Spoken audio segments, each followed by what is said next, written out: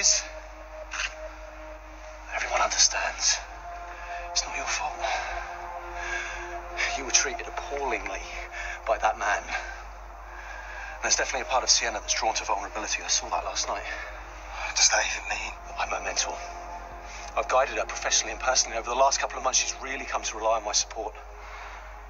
Last night, that changed. The man she respected and admired suddenly needed.